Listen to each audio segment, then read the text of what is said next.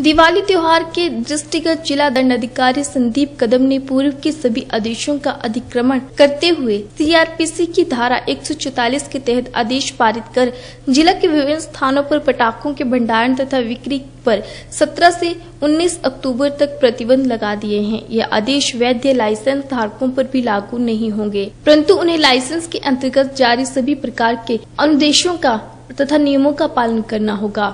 आदेश के अनुसार उपरोक्त अवधि के दौरान साय 10 बजे से छह बजे तक पटाखों के प्रयोग पर प्रतिबंध लगाया गया है।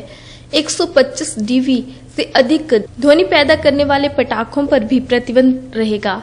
आदेश के अनुसार किसी भी प्रकार की अनहोनी घटना को रोकने तथा लोक हित में उपरोक्त अवधि के दौरान जिला हमीरपुर में मुख्य बाज़ार मिनी सचिवालय से लेकर जिला अस्पताल और पेट्रोल पंप से लेकर भोटा चौक तक पटाखों के भंडारण तथा बिक्री पर प्रतिबंध रहेगा। इसी प्रकार जिला के अन्य शहरों, नदौन, सुजानपुर, भोटा, बडसर, मैरे, जाहू, भ्रेड़ी भोरंज कलोड तथा बिजली के मुख्य बाजारों पर भी प्रतिबंध रहेगा।